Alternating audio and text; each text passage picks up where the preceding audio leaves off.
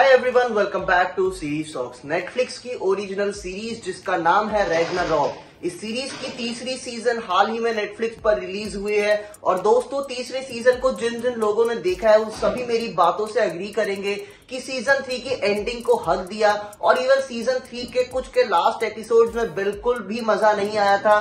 बिल्कुल अनएक्सपेक्टेड चीज़ें इन्होंने दिखा दी जो कि बहुत ही बचकानी थी। और बिल्कुल भी मज़ा नहीं आया सीज़न थ्री को देखकर। सीज़न वन और सीज़न टू इस सीरीज़ के बहुत ही शानदार थे बट सीज़न थ्री में इन्होंने हक दिया।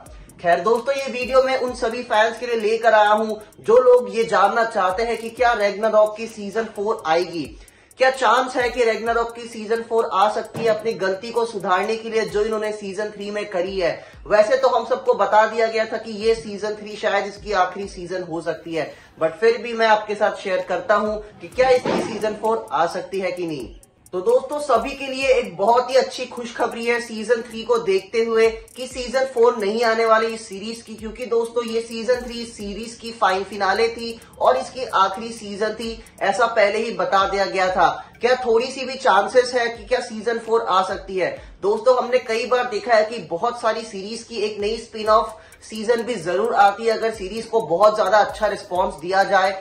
लेकिन दोस्तों, इस सीरीज़ के सीज़न थ्री ने इतना गंदा हक दिया है कि इसके बाद ऑडियंस तो क्या नेटफ्लिक्स के खुद के प्रोडक्शन हाउस भी इस सीरीज़ के सीज़न फोर को रिन्यू नहीं करने वाले। तो दोस्तों डेफिनेटली सीरीज़ की सीज़न फोर नहीं आने वाली। तो दोस्तों, ये इसकी आखिरी सीज़न थी। इस वीडियो को अपने दोस्तों के साथ भी शेयर कीजिए जिन्हें नहीं पता कि क्या इसकी सीज़न फोर आ सकती है। तो दोस्तों, इसी के साथ मैं जल्द मिलता हूँ अपने अगले वीडियो में।